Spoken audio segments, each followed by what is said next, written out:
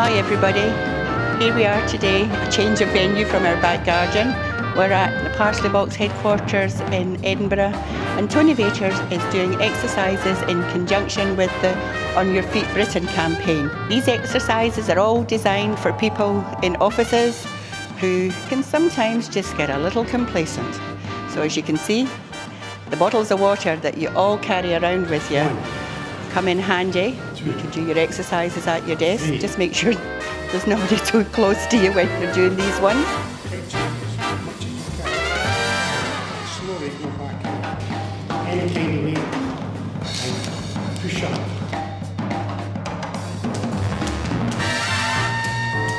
I always thought you were out in the back garden doing nothing.